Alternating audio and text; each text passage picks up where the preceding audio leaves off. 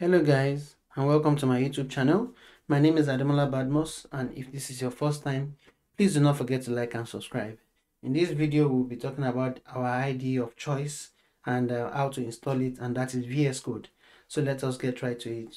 VS Code is a very lightweight IDE and it's sort of code agnostic.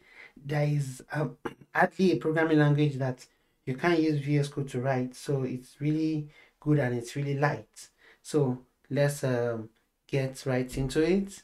So on uh, what's called on your system you can click on uh, you can search for VS Code download. And when you do that you click on download and there you have it and you can get the Mac version of it.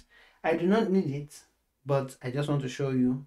So when you want to download this you click on save and uh, it will download a zip file for you what you just need to do is unzip it and drag what you unzip. Drag it into your applications folder. Basically that's what you just need to do. Just drag it in your application folder. And once you've done that you can um, go into your launchpad and um, launch VS Code.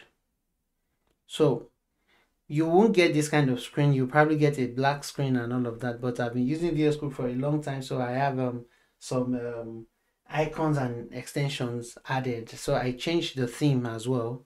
So you can google that and see how you can change your theme on your VS Code and all. So that being said this is how you launch your VS Code.